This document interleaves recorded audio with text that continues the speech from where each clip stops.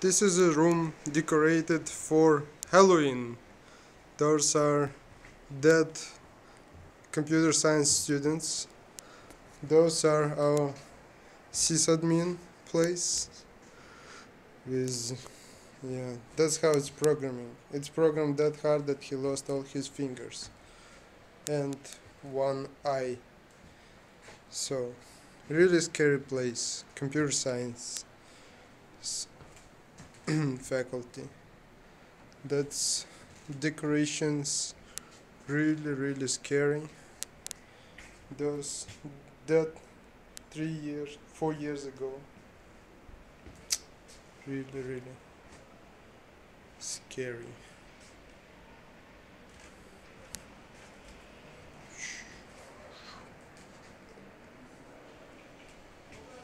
Halloween. Best time of the year.